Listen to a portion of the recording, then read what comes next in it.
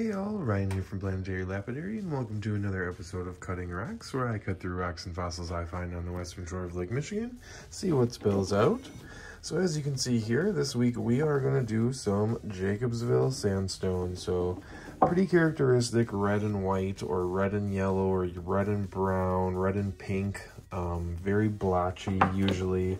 Named after um, Jacobsville, Michigan, which was a town in Michigan that actually um, produced a lot of this, like for construction and stuff.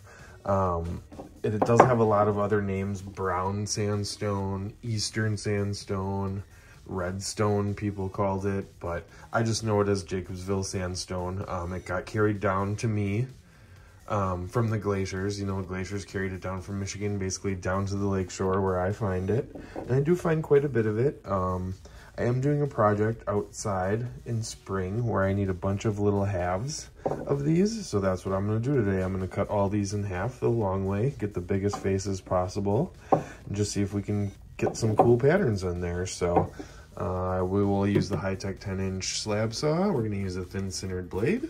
So let's get set up and we'll get cutting these.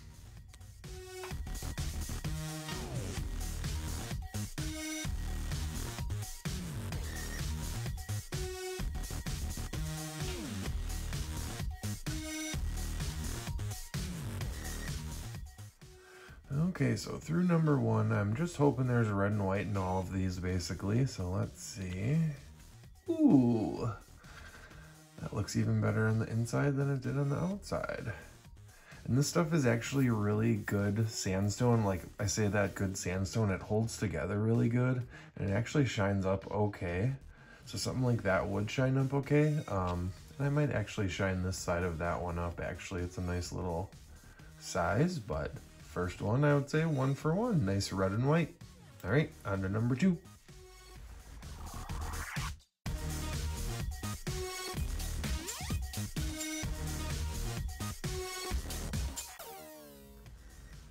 All right, second one. I'm hoping for more of the same. This one might be a little more white on the inside.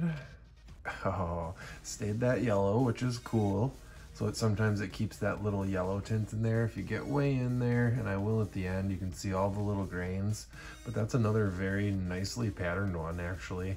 I might have to shine a couple of these up just to shine them up and see what they look like. But all right, two for two.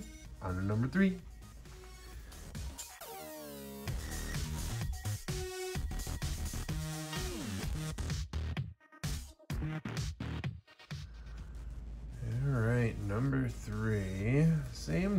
Pretty much.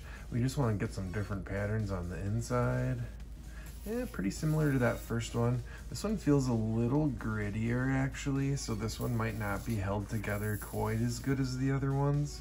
Could just be a weathered, you know, regular sandstone. Probably still a Jacobsville, just a grittier one, but still very cool. I'm getting my little halves that I want for my project in spring. So, all right, three for three. Let's keep going.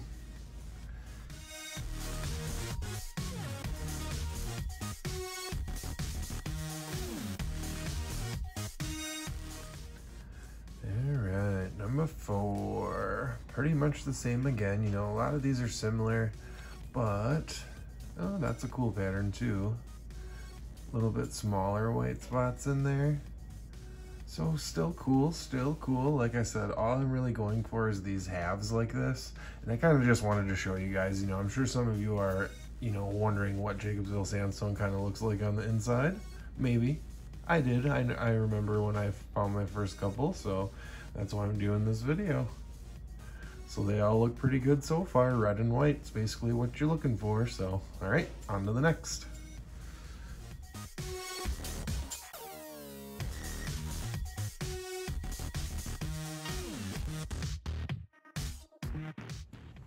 All right, that was kind of an oddly shaped one, so I took like a flat, you know, like a flat section off of it. This one should be a little more white too, I would think. Yeah, a little bit more white, or you know, that kind of beigey stained color in there.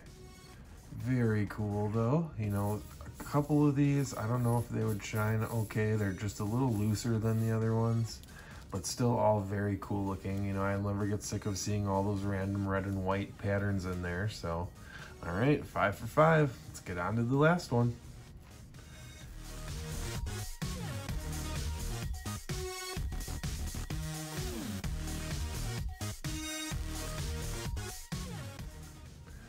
Okay, so last one. This one was a little more weathered on the outside, so let's see. Ooh, nice and full. Very, very cool. I just like how this stuff has such random patterns on the inside. And like I said, it doesn't shine up too bad. It doesn't take a, you know, mirror shine, obviously. Sometimes it does if it's got enough, you know, silica content in there. Like this one you can see is a little whiter, you know, a little more sparkly, a little clearer grains in there. So that one might shine up a little better, but you never know. But I would say definitely all uh, a win. You know, I'm going to put them down on the ground outside like this with the flat sides down, I think. Maybe with the flat sides up. I don't know, but I'll show you guys that project in spring when we get there for sure. But for today, these were definitely all uh, exactly what I was looking for. And hopefully you guys know now what you know, Jacobsville Sandstone has to offer. So if you like this video, leave a like, hit subscribe if you haven't already. Stay tuned for some close-ups at the end, and we'll see you in the next one. Bye-bye.